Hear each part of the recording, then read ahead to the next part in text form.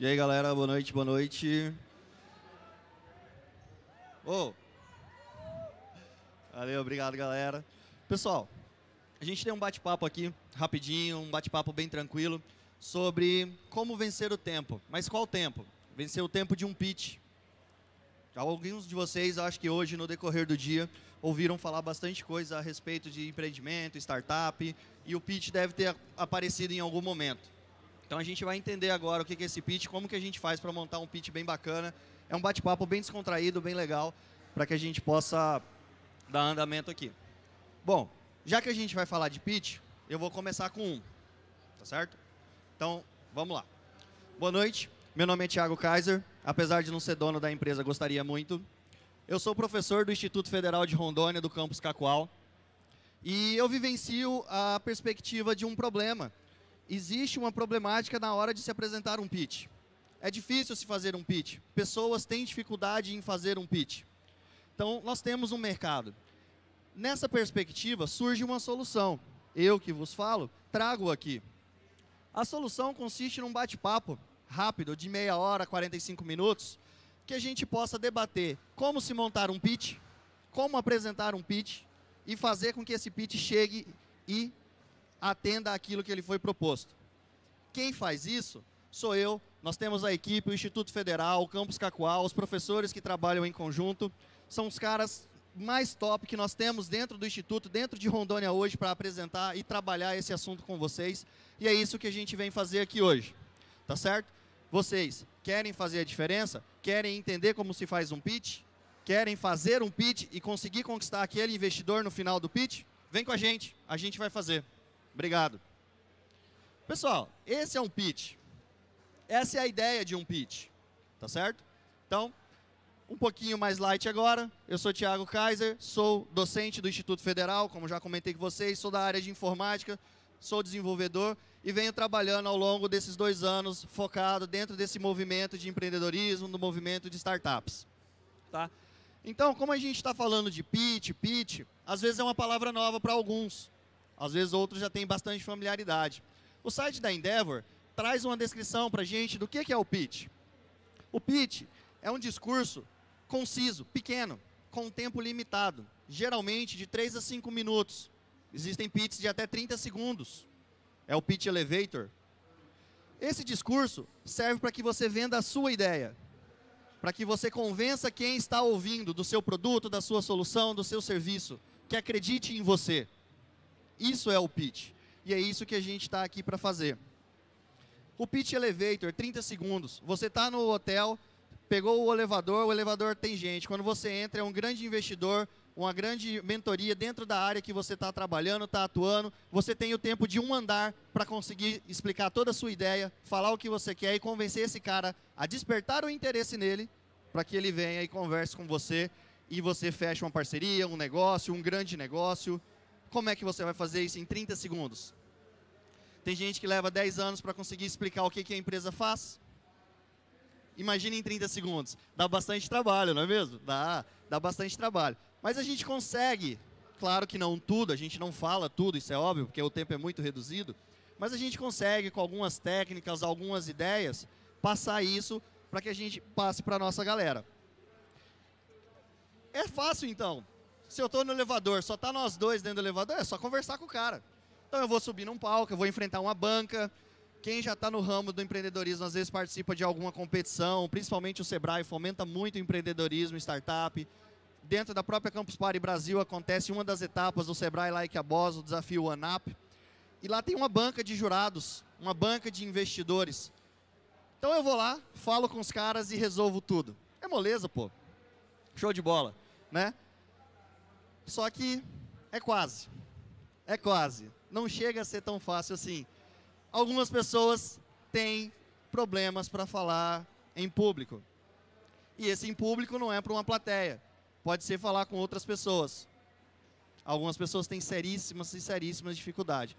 Então, como eu, eu tenho uma ideia, eu tenho uma solução, eu tenho um produto, o meu negócio é o top da bagaça, ele vai fazer, resolver o problema do mundo mas eu não consigo conversar, eu não consigo explicar, eu não vou conseguir falar com uma pessoa. Então, antes da gente falar do roteiro, do pitch, das estruturas, a gente precisa dá uma trabalhada nisso aqui, tá certo? Um estudo do ano de 2015 do Sunday, o jornal Sunday do Reino Unido, ele entrevistou uma quantidade de pessoas dentro do Reino Unido e pasmem, dentro das perguntas tinha qual era o seu maior medo? Falar em público, ter problemas financeiros, doenças e morte. 19% das, dos entrevistados responderam que tem medo de pegar uma doença e de morrer, ou simplesmente morrer. 22% responderam que tem medo de ter problemas financeiros, de chegar no final do mês devendo, ou não conseguir nem comprar comida. 41% dos entrevistados disseram que tem medo de falar em público. O cara tem mais medo de conversar com alguém do que de morrer. Se a gente trouxer isso para uma realidade um pouquinho mais próxima, a cada cinco pessoas, duas têm medo de falar em público. É muita coisa. É muita, é muita coisa mesmo, tá? Isso mostra que a gente não está sozinho. Essa fala da, da Ana aconteceu em 2017 em virtude de uma reportagem que o Fantástico fez sobre oratória. Alguém chegou a ver essa reportagem no ano passado? Foi uma reportagem que grande, ela durou bastante tempo pessoas têm medo de falar em público. Eu aqui, estava sentado ali, respirando rápido. Você treme, não adianta. Eu estou na docência há 11 anos. Sou acostumado a falar para 30, 40, 50 pessoas, nível médio, nível superior, mas na hora de subir aqui, a perninha treme. A barriga fica fria uns 5 minutinhos. Depois a gente vai contornando e vai embora. Mas o que vocês têm que ter em mente é que isso não é só você. Como a gente viu, a cada de cinco pessoas, duas têm medo de falar em público. Então, isso é muito mais comum do que a gente pensa.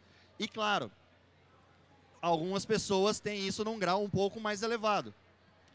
Hoje, eu consigo controlar e sinto um, um pequeno nervoso. Tem pessoas que entram em pânico, choram, desmaiam, entram em parafuso, não conseguem nada, trava, trava, não, não consegue nem sair. Tem que alguém vir e tirar da frente, porque não consegue fazer.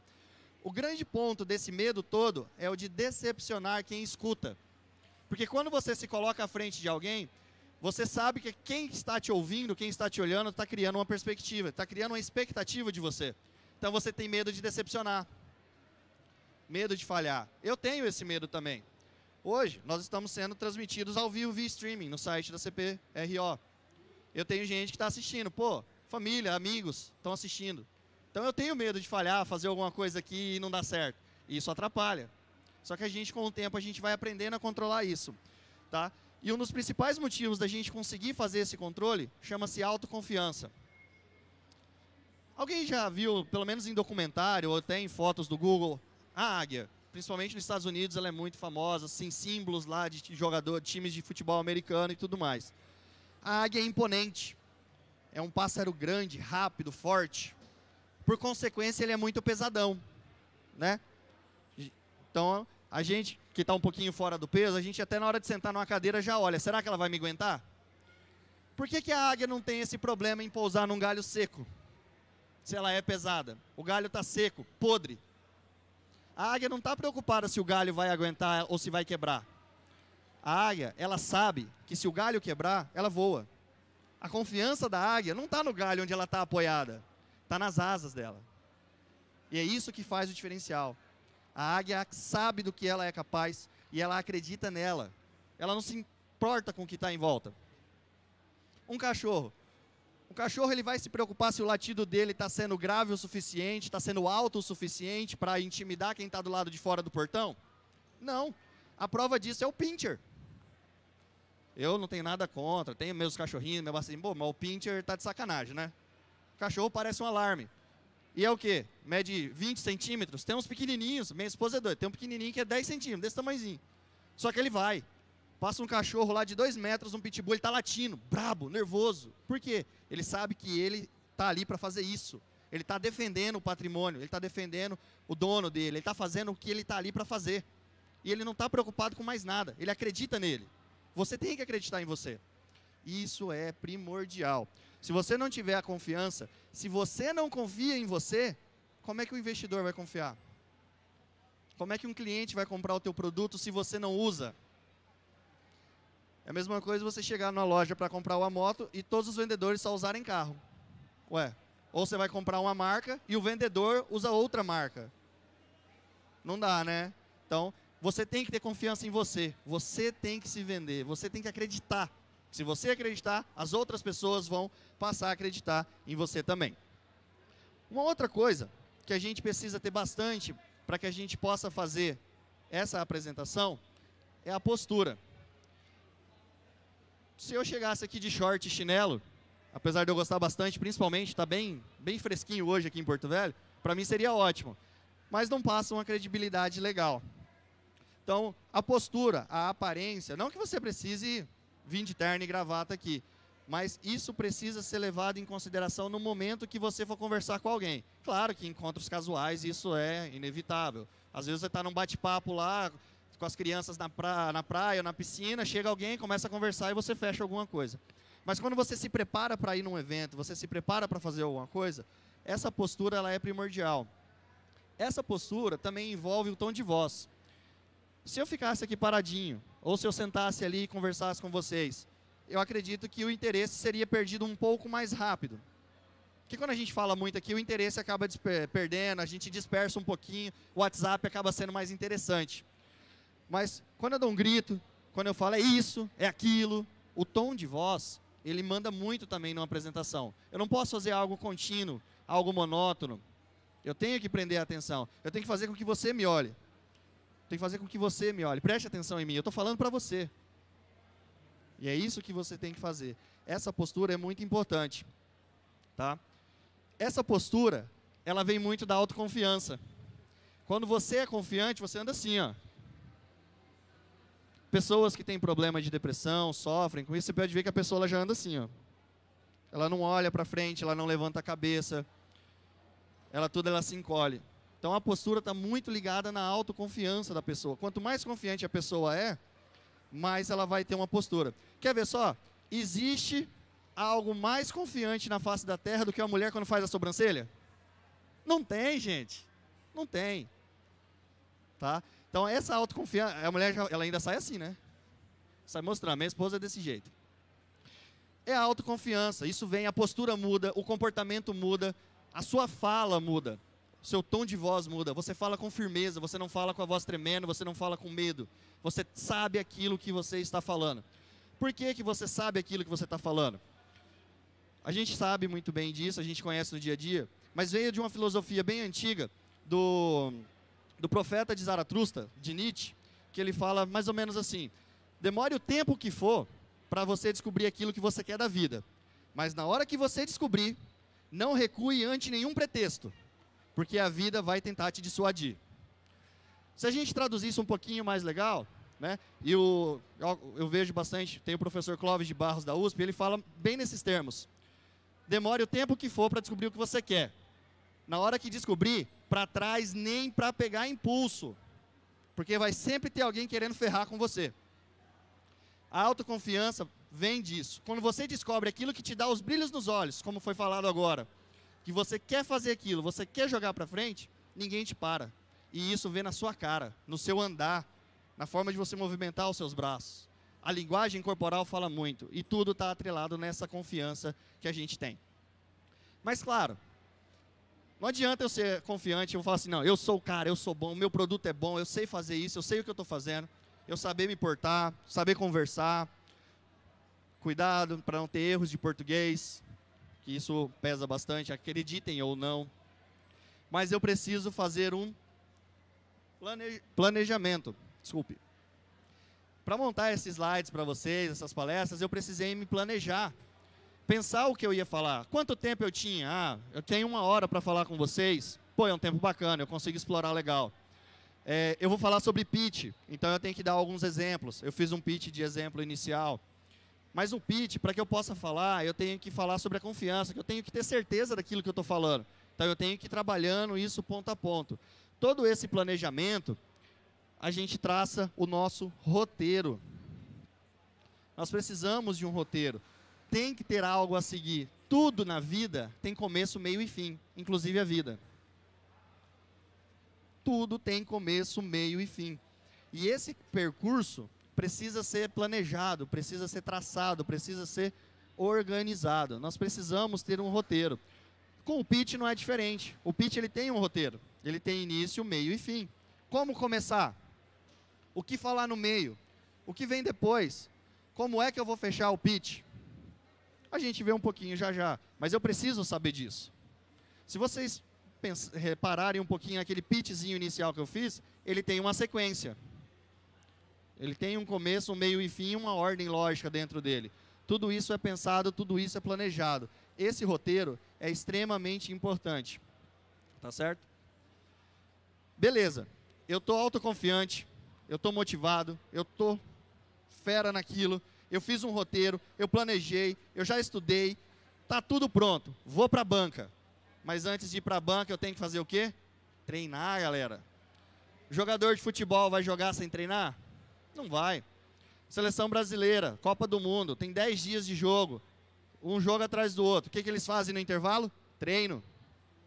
Nós precisamos treinar o pitch. Eu montei o pitch, eu fiz o roteiro, ele está pronto, eu tenho tempo, está estruturado. O que, que eu vou fazer? Treino. Vai para o banheiro na frente do espelho e apresenta.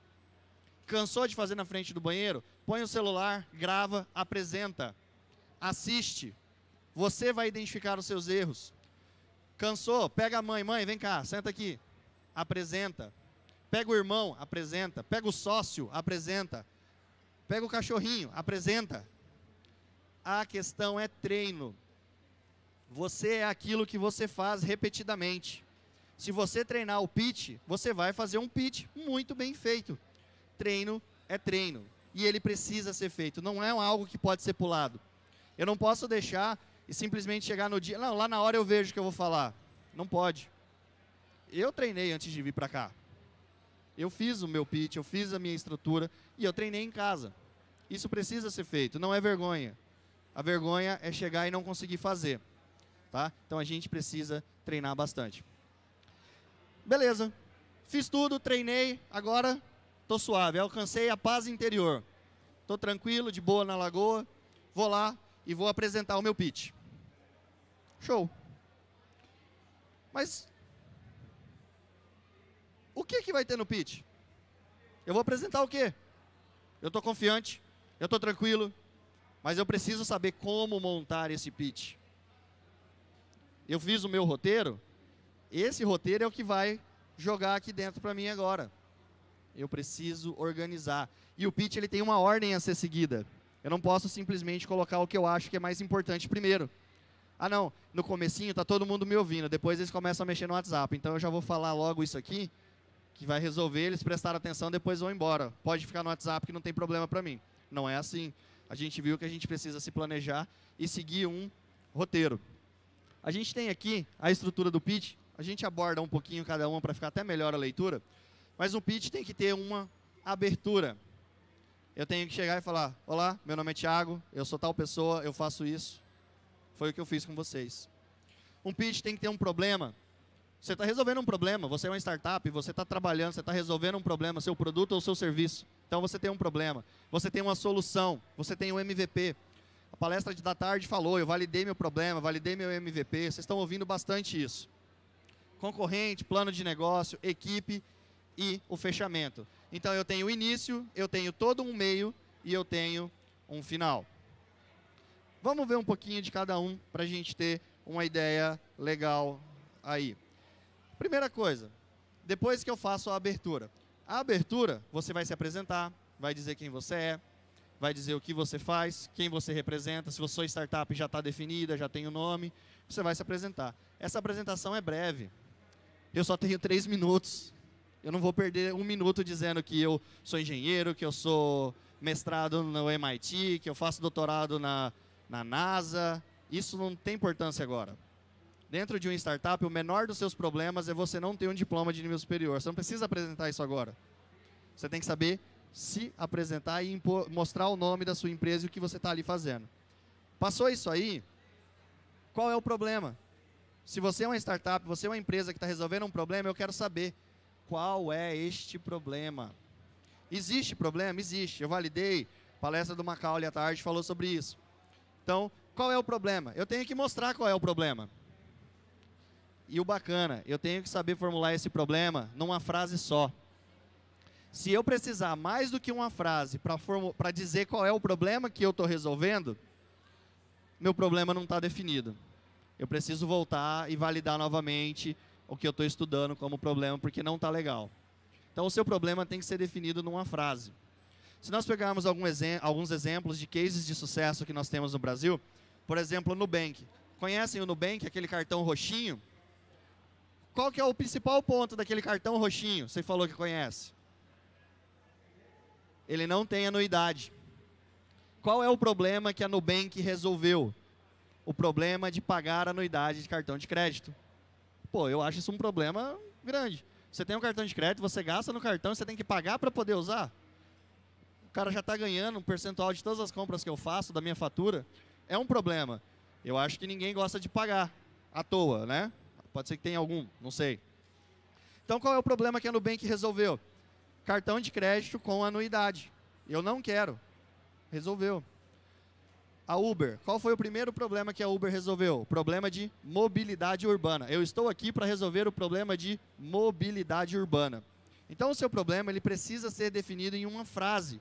E essa frase ela tem que ser, não vou dizer curta, mas ela precisa ser de impacto, vamos dizer assim. Quer um exemplo bacana? Eu estou aqui para resolver o problema de falta d'água na cidade de Porto Velho, nos bairros mais altos. Ponto. Eu já disse qual é o meu problema. A falta d'água nos bairros mais altos de Porto Velho.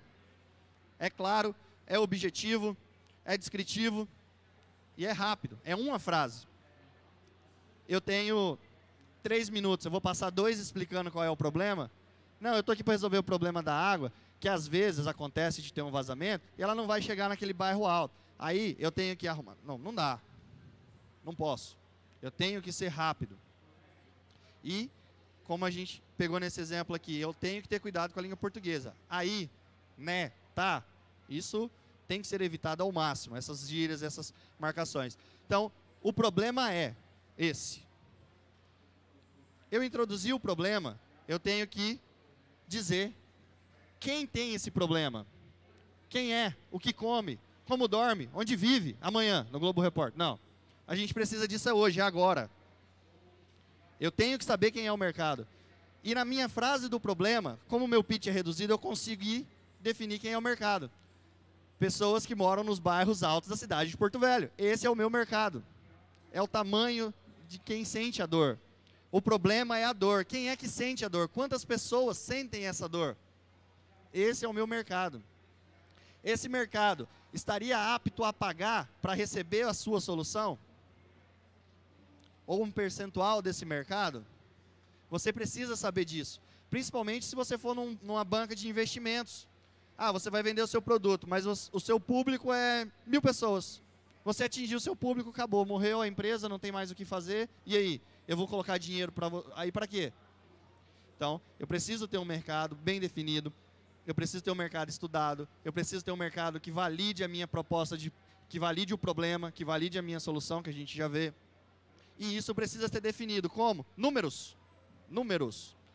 Eu tenho 30 milhões de pessoas que sofrem com problema de água. Ou, em vez da falta de água, que pagam a água caro demais, porque no bombeamento vai ar. Trabalhei numa empresa de água no meu município e eu sei. Acontece de ir. A pressão é muito grande. Então, como que a gente resolve? Tem gente que com esse problema? Tem. Quantas pessoas? Uma cidade inteira, 80 mil habitantes. Tem nessa cidade? Tem. A cidade do lado tem também? Tem. O Estado tem? Tem. Bom, se o Estado tem, o outro deve ter. Então, essa solução, esse mercado, ele pode ser local, regional, estadual, até mesmo nacional e global. A gente precisa saber isso. Porque quando a gente fala em startup, a gente fala, ah, vou escalar, vou escalar, vou escalar. Mas eu tenho que saber quem é o mercado. Como é que eu vou escalar se eu não sei se tem gente o suficiente para escalar a minha solução? Tá? Então, o mercado ele é fundamental que a gente fale. E a gente consegue falar junto com o problema.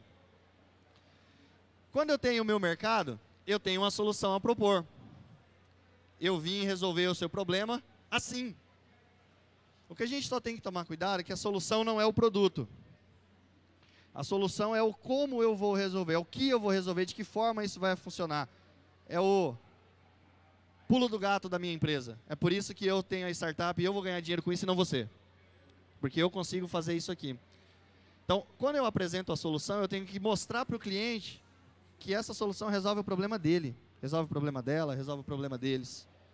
O cliente que vai comprar, ele não quer comprar o produto, ele não quer comprar o serviço, ele não quer baixar um aplicativo, ele quer resolver o problema. A minha solução resolve o problema dele, cura a dor que ele está sentindo. É isso que eu preciso deixar muito bem claro. Essa dor vai ser curada se você usar a solução que eu estou te entregando. Essa solução resolve o seu problema. A sua dor vai acabar. Nubank, você odeia pagar a tarifa de cartão de crédito. Usa o meu. Ele não tem tarifa. Nenhuma? Não, nenhuma. Pode usar. Mas e se eu quiser fazer uma compra internacional? Não tem tarifa. Usa do jeito que você quiser. Pô, eu vou ficar felizão, vou usar. Aí eu estou usando, ele está ganhando dinheiro, que o percentual do que com essas compras cai para a empresa. Nubank aí tem o quê?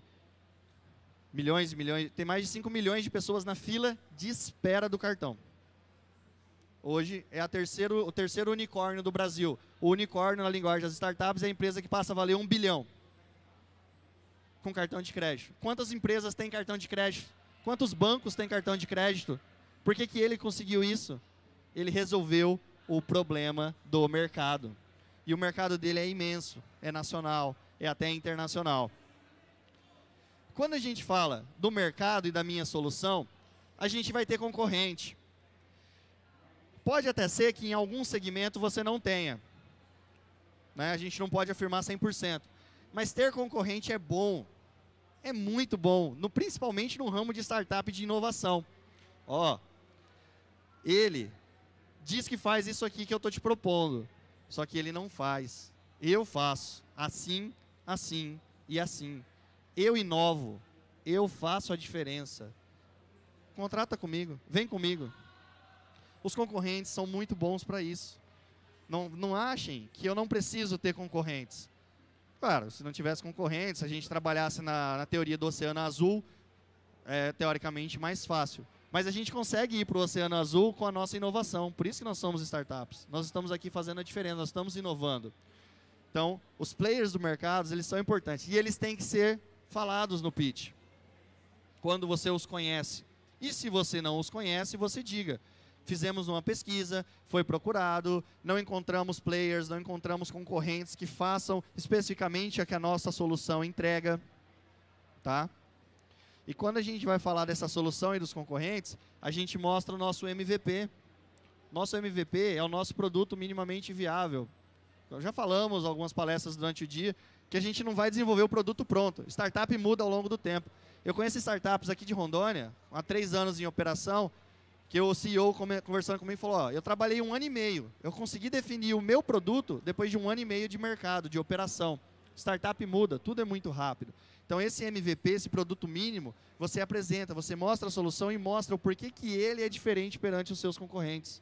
Como esse produto, esse serviço que você vai entregar, agrega para que você possa fazer esse, esse fechamento de venda, fechar essa, essa parceria e tudo mais. Mas claro, ó, se você está fazendo esse pitch para convencer alguém a entrar no seu time e trabalhar com você, se você está fazendo esse pitch numa banca, se você está fazendo esse pitch para investidores, eles querem saber de onde vem a grana. Eu não vou entrar numa empresa, largar o que eu tenho, tudo que eu estou fazendo, sem ter uma noção de pelo menos como eu vou ganhar dinheiro, para saber se isso vale a pena para mim. Então, se você vai fazer um pitch para chegar num cara e falar, cara, eu tenho uma ideia show e tal, mas eu preciso de um desenvolvedor, e aquele cara é muito bom, me recomendaram ele, eu vou trazer ele para minha equipe. Ó, vai lá, explica, explica, explica, explica, o cara fica entusiasmado, mas ele te pergunta, tá, mas eu vou ganhar quanto? Como é que vai funcionar? Como é que isso vai dar dinheiro? Afinal de contas, uma startup é uma empresa. E uma empresa existe para quê? Gerar lucro. Hoje, o empreendedorismo, principalmente o social, ele vem mudando muito essa cara da, da antiga empresa, a estrutura, e transformando o meio no qual ele se aplica. Mesmo assim, tem que gerar lucro. Senão essa parte social não se sustenta. Eu tenho que ganhar dinheiro. Como que eu vou ganhar dinheiro? Eu preciso deixar isso muito bem claro no meu pitch. Como o dinheiro vai entrar na minha empresa? Eu vou ganhar dinheiro por assinatura? Eu vou ganhar dinheiro por publicidade? Eu vou ganhar dinheiro por venda do produto físico? Eu preciso saber explicar isso. Para que quem está me ouvindo entenda como ele também vai ganhar dinheiro caso ele embarque nessa jornada comigo. Se ele pular no barco comigo, ele tem que saber como é que ele vai ganhar dinheiro. E isso precisa ser bem estruturado, tá certo? Eu acho que ninguém gosta de perder dinheiro. A gente gosta muito de ganhar. Todo mundo sonha numa mega cena da vida, então a gente sempre vai querer. E isso é um ponto muito importante do seu pitch. Principalmente se for um pitch para investidores. Se eu vou colocar o meu dinheiro lá dentro, eu quero saber como que você vai fazer para ganhar dinheiro para devolver o que eu investi. Ou se eu vou ser sócio seu, se eu vou, eu vou entrar, vou comprar uma parte, 30%, 40%, 50% da sua empresa, tá, mas é 50% de quanto? Quanto que você prevê ganhar? Qual o seu ticket médio? A gente precisa deixar isso muito bem claro. Isso precisa ser falado bastante. E claro, a empresa ela não é sozinha. A gente tem uma equipe que faz tudo isso. Sozinho ninguém faz nada. Imagina uma pessoa sozinha tentasse fazer esse evento aqui, não sairia. Então a gente tem que ter uma equipe por trás de tudo isso. E essa equipe precisa ser demonstrada no pitch. Hoje, pessoal, grandes investidores não buscam ótimos softwares, não buscam ótimos aplicativos, não buscam ótimos produtos físicos. Eles querem um problema top, top no sentido de que muita gente sofre com aquele problema e ele existe, e eu quero uma galera top de linha que vai conseguir resolver aquele problema. Eu não quero o produto pronto, eu não quero nada pronto. Eu quero que esse problema exista e que a equipe por trás disso seja fenomenal para fazer isso acontecer, isso sair do papel, isso virar uma empresa, virar uma startup, ganhar dinheiro, mudar o local ao qual ela está inserida, fazer o que for. Só que empresas são constituídas por pessoas. O seu time tem que ser muito bem escolhido e ele tem que ser valorizado.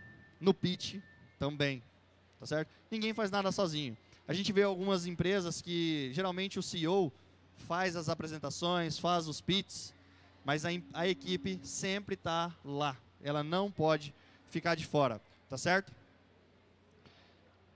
Beleza, eu fiz uma abertura, eu me apresentei, eu falei do problema, da solução, do meu produto, como a gente vai ganhar dinheiro. A minha equipe é uma equipe top de linha, os caras são bons, veio de fora, o cara é da NASA, o cara é o Elon Musk, o Elon Musk veio trabalhar comigo. Alguém conhece o Elon Musk? Alguém conhece o PayPal? Acho que se vocês compraram o ingresso pela internet, vocês compraram pelo PayPal. É dele. Aqueles foguetinhos que estavam indo para Marte agora, é dele. Se eu chegasse aqui e falar, ó, eu tenho uma solução que vai fazer isso aqui e tal, e minha equipe, o Elon Musk está aqui, ele vai desenvolver junto com a gente. Quem quer entrar nesse barco comigo? Se eu não tivesse, eu queria. O cara é referência. Por isso que a equipe é muito, tem que ser muito bem valorizada. Apresentei tudo isso, pronto eu tenho problema, eu tenho solução, eu tenho produto, eu tenho equipe, eu tenho plano de negócio. O que, é que eu preciso fazer? Eu preciso fechar essa apresentação. E esse fechamento não pode ser. Bom, pessoal, então é isso que eu queria dizer para vocês, tá? Valeu, obrigado, tchau. Não dá, né? Não posso fazer isso. Eu tenho que ter um fechamento de impacto. Um fechamento que vá fazer com que aquela pessoa que ouviu o meu pitch ele não vai, às vezes não vai fechar um negócio comigo ali, mas ele vai para casa, ele vai ficar pensando, cara, aquele cara falou um negócio lá no final que, aquele bicho está certo. Vou pegar o contato dele aqui, eu vou, vou, vou, conversar com ele com mais tempo, com calma, com uma meia hora, uma hora para a gente conversar. Né? A ideia é que isso vá para casa. Não fique só no pitch, só na apresentação e vai embora. Tá? E é isso que eu quero com vocês também, que vocês cheguem em casa e que alguma coisa que eu falei, vocês, pô, Tiago falou isso aqui, bicho, e é verdade, ó. Eu vou dar uma olhada nisso aqui melhor, vou conversar com ele, vou conversar com alguém, vou procurar. E a gente pode trazer alguma frase de impacto. Às vezes frases de grandes pensadores, que tenham a ver com o tema da proposta que você está sugerindo em termos de solução, em termos de problema e, e tudo mais. A filosofia grega tenta definir há muito tempo. É, eu estou falando em filosofia, comecei a comprar uns livros aí de do professor Clóvis, de alguns outros caras lá, e os caras falam muito de filosofia. E é bacana, é show de bola, a gente tem que ser bastante pluri, multidisciplina, né? Multidisciplinar. E a filosofia grega vem há muito tempo tentando definir para a gente o que é a felicidade. A felicidade, segundo a filosofia grega define, é, é aquele momento que você está ali e que você quer que não acabe nunca. Esse é o momento de felicidade. Tá certo? Mas tudo acaba. Esse momento para mim é um momento extremamente feliz. Pessoal, obrigado.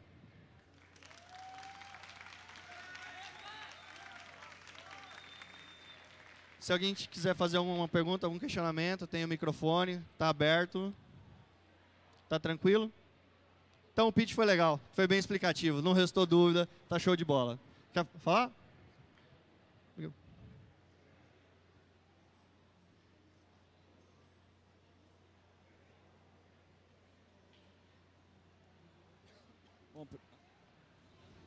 Alô, alô, alô. Uh, primeiramente, obrigado e parabéns pela palestra. A pergunta é: você acredita que uma empresa que é, na verdade, quanto tempo assim demora para uma para uma startup se tornar uma empresa e a partir de quanto tempo que ela começa a gerar lucros? Porque o que eu vejo é que tem empresas que demoram de três, quatro anos para poder se, começar a se estruturar ali. O que, que, você, que, que você acha disso? Qual é o tempo? Cara, é bastante difícil a gente falar assim, com dois anos você está tranquilo. Você vai estar tá ganhando dinheiro, você vai estar tá viajando, vai estar tá de caminhonete, vai estar tá o bam, bam, bam. É bastante complicado. Mas existem pesquisas que dizem que o tempo médio de uma startup se consolidar como empresa é de três anos. Mas isso é um tempo médio. Tem algumas startups que no primeiro ano de operação conseguem se consolidar. Conseguem se consolidar como empresa. Sai do Canvas, entra para um plano de negócio, aquele plano de negócio padrão, que o Sebrae ajuda a gente bastante a fazer mas isso varia muito. Tem empresas que com dois anos de operação deu um pivote, voltou praticamente do zero para começar tudo de novo, porque viu que o pulo do gato que ele imaginava não era. Então ele não mudou de ramo, não mudou de operação, ele só mudou a forma de entregar a solução para o problema que ele achava. Ou o problema virou um pouquinho. Então ele deu uma pivotada. Mas em média são três anos de consolidação de uma startup para uma empresa não convencional, mas que ela se consolide mesmo como uma empresa longeva. Valeu? Mais alguma? Pessoal, obrigado, boa noite, bom descanso aí. Até mais.